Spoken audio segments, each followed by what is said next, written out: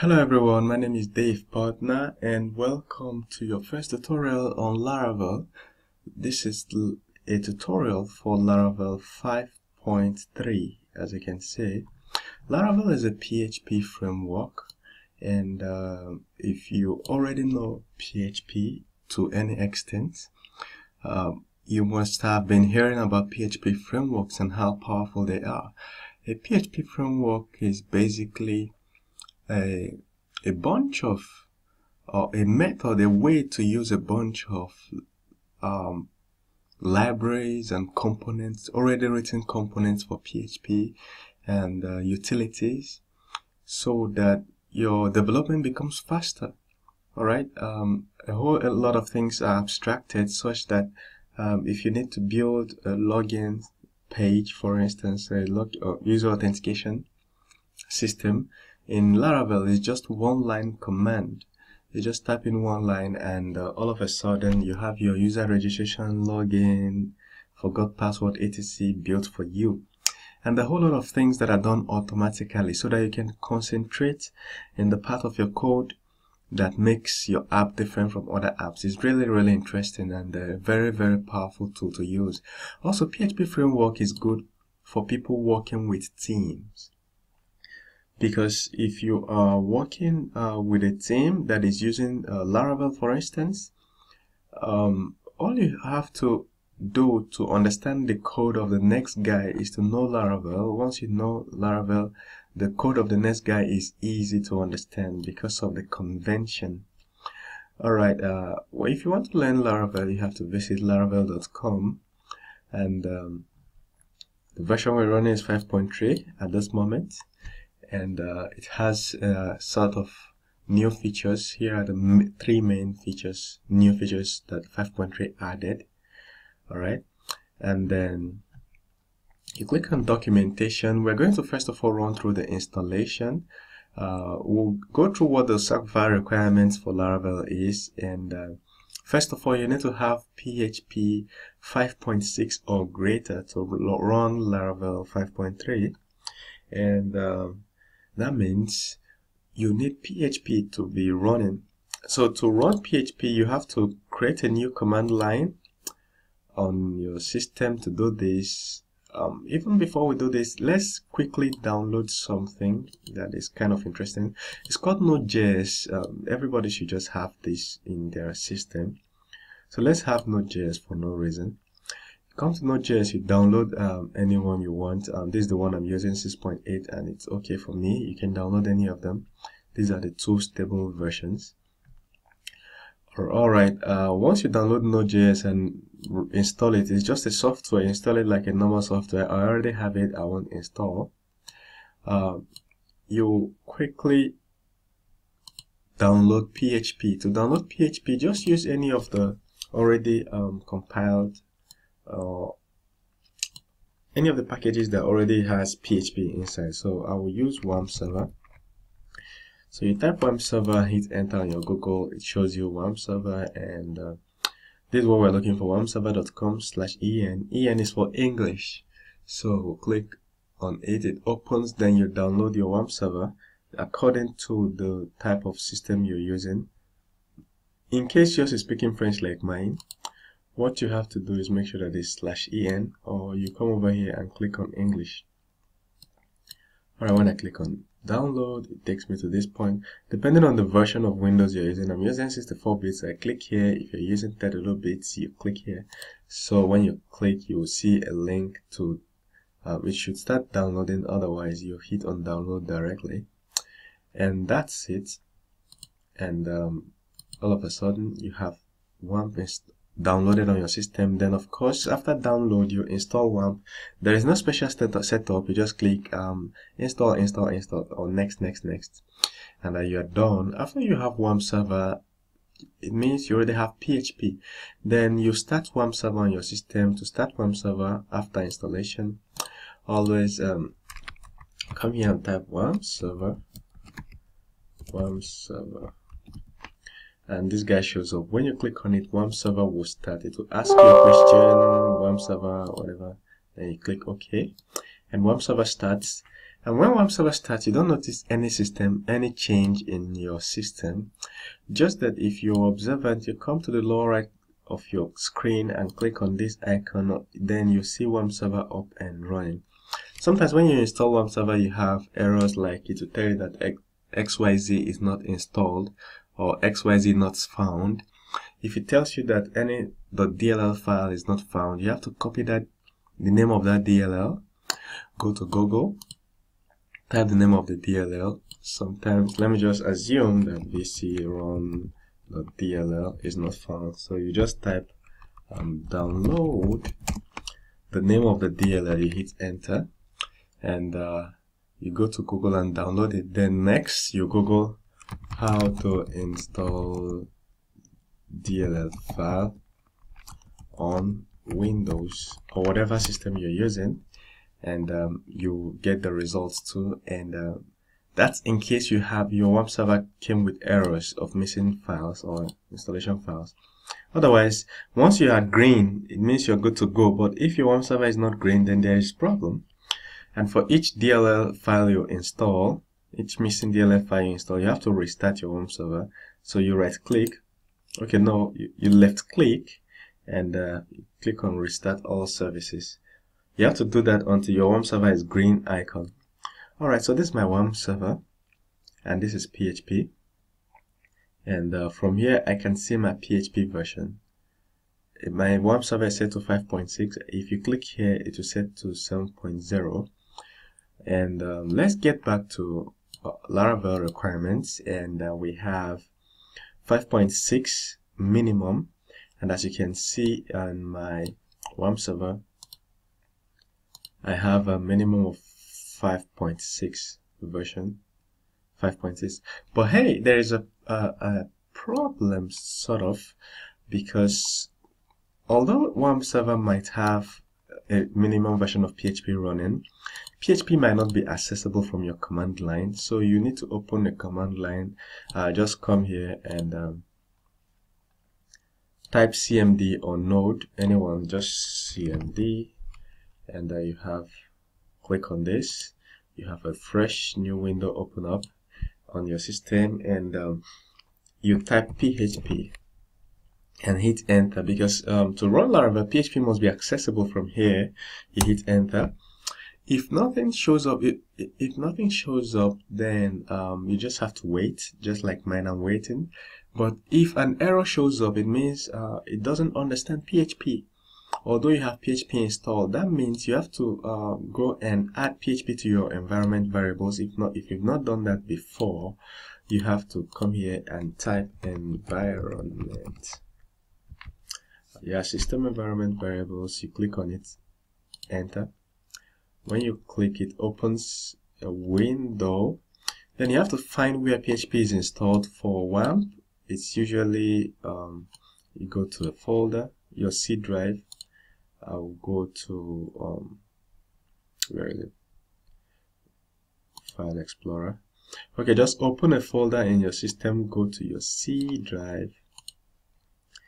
My C drive, you locate a folder called WAMP. In case you're using something like XAMPP or or LAMP, there are many of them MAMP. So you just have to find where your apps is Alright, if you're using any of them, it means that you already have PHP installed. If you already have WAMP server installed, you don't need to install WAMP server again. So you look for PHP and um, alright, uh, we'll look for where PHP is in bin, alright? Um, here in my WAMP64 bin and um, here I have PHP and you look for the version of PHP you need. Me, I like uh, 7.0 then um, this is what we're looking for so that anytime we type php this guy will run but our system variable needs to know the address to where to find php okay so we click right click and copy this address. And we come to the this is what opened up when we typed system variable here.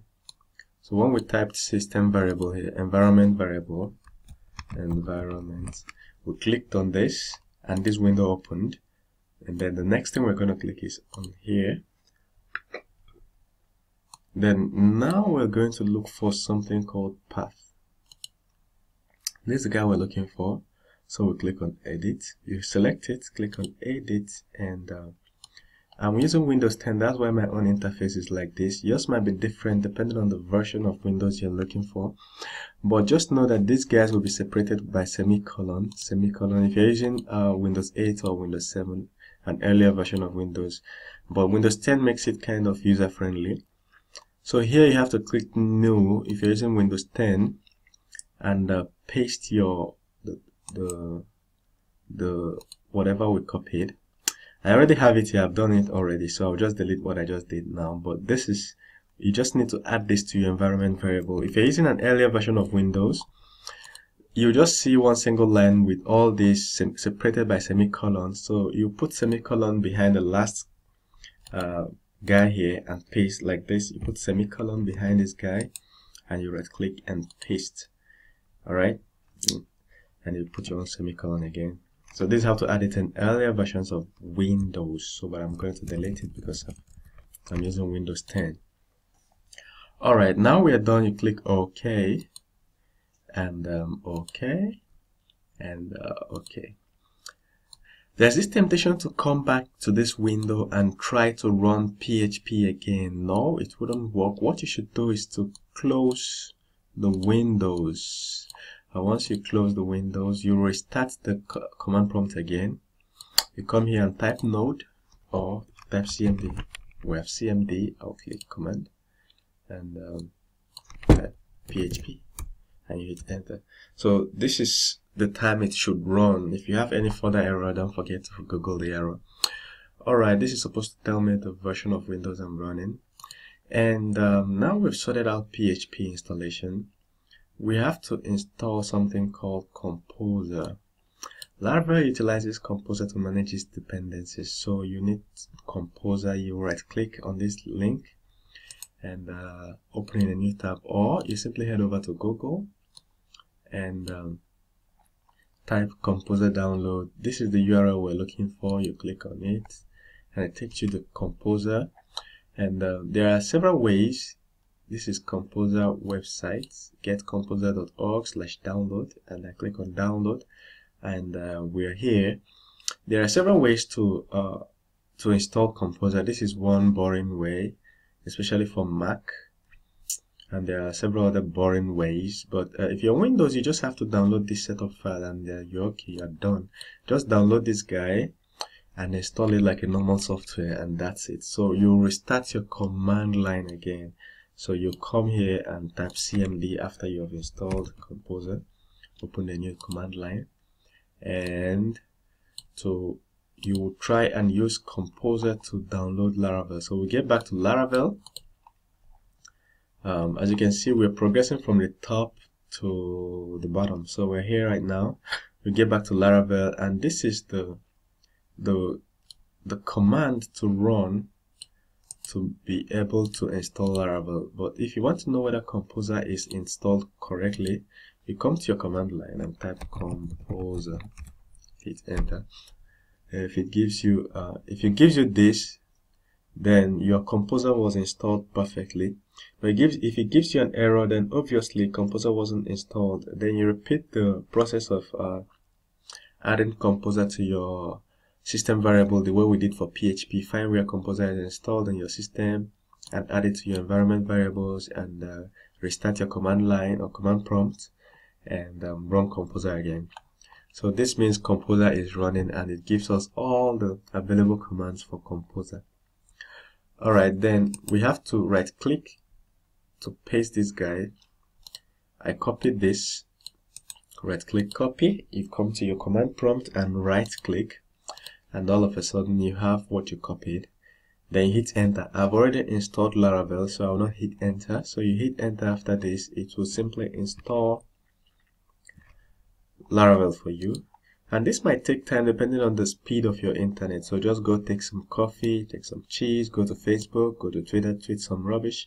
And when you are back you can now start a new website. Here is a command to start a new Laravel site. So let's say you're building a site for a banking application or you can come to Laravel come to your command prompt. First of all you navigate to the folder you want to build. So if I if I run this command here it will create a folder called blog inside this address and then it will install Laravel inside it. But this is not where I like my sites to be. I usually uh, like my sites to be on my WAMP. Some like it on the desktop. If you like your site to be on the desktop you just navigate to your desktop. And um, here is my desktop. You navigate to your desktop you copy the URL to your desktop. Oops. And um, paste it there. But I like mine to be in my WAMP folder so if you are using one then you may just enjoy my own method. Too I like mine to be in a specific all my sites to be in a specific folder. So you, you type cd cd is for change directory. You need to move to the folder we're talking the particular folder you want in your system. Any folder is okay. Cd uh, c wamp sys4 www and that's it. Hit enter. So we have um, changed directory to this guy. This is where I want my Laravel project to be. And uh, this guy is the guy here for me personally is the guy WAMP is the guy 64 www this is where I, pay, I place all my websites that I'm creating. All right and um, here is it. So right click like this. And let's say you're designing a site for a tutorial tutorial or banking app. So you can type banking app. You understand? So laravel will automatically create uh, a folder called banking app inside this folder and then install laravel. This might take some time uh, but eventually um, it will install depending on the, on the speed of your internet. Um, because I have so many folders I like to start my Laravel Laravel then I'll put the name um, testing so we are building a site we want to call testing uh, I like to preface my name my personally with um, the name of the framework I'm using because I have so many web projects okay? So I'll hit enter and this will obviously take some time because it's going to the internet to pull or download um, some files and uh, installing on your system. So you can just go take some coffee go to it and at the end you have your Laravel project ready. Alright so in the next tutorial we will see what has um, become of this uh, installation and we'll continue from there so thank you very much. See you in the next tutorial. And uh, don't forget to do some really nice stuff at this moment which is um, subscribe to this video. If you're watching this video at the from youtube at the bottom of this video there is a red subscribe button. Click on it and subscribe. If you are not watching from youtube just visit youtube slash c slash brainterm org brainterm.org and hit enter. Once the page opens, you can subscribe to my channel because it means that when next I make a tutorial, you will have it.